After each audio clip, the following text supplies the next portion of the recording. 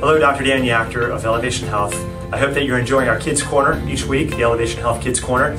And the reason why we're so focused on kids um, is that because um, sickness and disease begins early. The cancer that you see um, 30 or 40, 50 years down the road, it all starts really developing in childhood. So why wait till then? Why not get to the kids? Why not get this information out to parents if they really want to develop a healthy future for their children? And what parents wouldn't want to do that? Uh, right now, there are over 100,000 toxins in the food, the air, the water that we drink, we eat, we breathe. Uh, many times, uh, when two parents come together, your consumption, they're passing on a lot of toxicity that's in their bodies.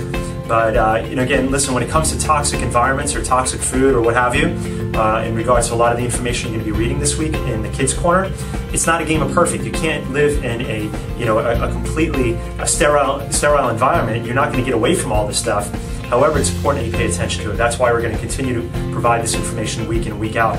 Right now, there are uh, supposedly 10,000 chemicals that are that are involved with packaging and storing food. 3,000 chemicals coming from the food or coming from the, the, the, the preservatives, the additives, the flavorings, um, the food dyes that are in the food. Um, these food dyes, when they get in, uh, they really heavily impact uh, children and their brains and brain development. It really makes their brains go wacky.